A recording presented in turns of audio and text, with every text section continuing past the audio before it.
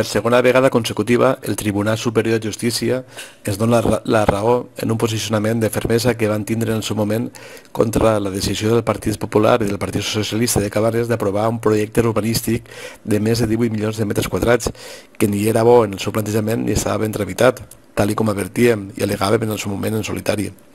El PAI, ara dos vegades anul·lat, però els veïns continuen pagant l'IBI com a urbana,